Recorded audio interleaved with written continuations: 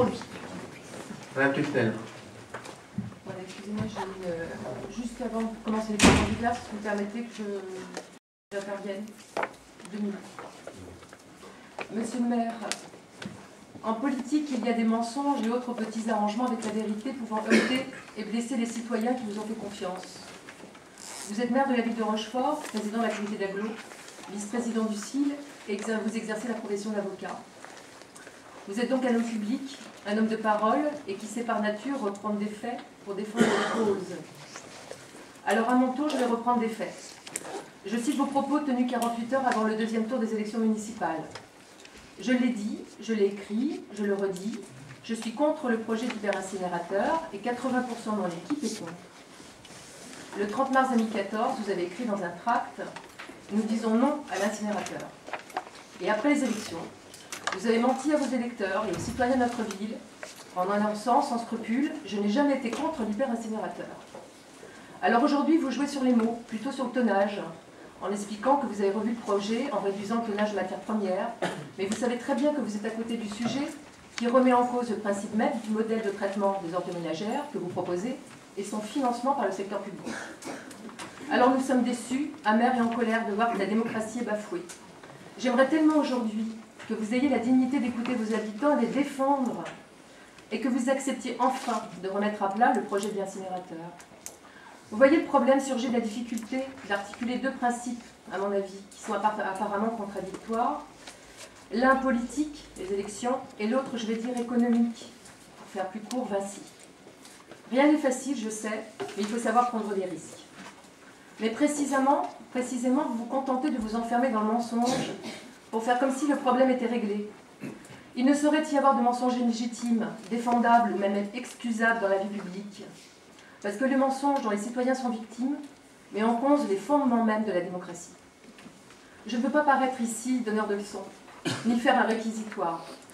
Mais j'ai l'espoir que dans un regain de lucidité, monsieur le maire, vous acceptiez de rouvrir ce dossier, quelles qu'en soient les conséquences, pour enfin redéfinir un projet économiquement viable, techniquement protecteur de l'environnement, de notre santé et porteur de progrès pour l'avenir. Je vous poserai donc une question. Acceptez-vous d'engager une démarche positive et de remettre à place le projet d'incinérateur et de stopper sans délai le début des travaux qui semblent avoir commencé Car rien n'est jamais trop tard. Merci. Merci. Vous me donnez des pouvoirs qui ne sont pas les miens. Je rappelle que le CIL est un syndicat, syndicat regroupant tous les PCI, 5. Et euh, donc, euh, ça veut dire euh, un collège, un collège d'élus. Un collège d'élus qui a travaillé depuis 7 ans euh, auparavant, avant notre élection à tous, sur le sujet. Et à l'heure actuelle, il y a un collège d'élus avec un président, des vice-présidents, des membres. Et je ne sais pas pourquoi vous pensez tous, ou certaines personnes qui sont présentes, que moi tout seul, dans le cadre d'un collège, je pourrais aujourd'hui, ou j'aurais pu avant, aller dans le sens que vous souhaiteriez. Moi tout seul, ce n'est pas possible. Bah, vous pouvez vous Je termine. positionner clairement. Je termine. Euh, Ça se passe très bien.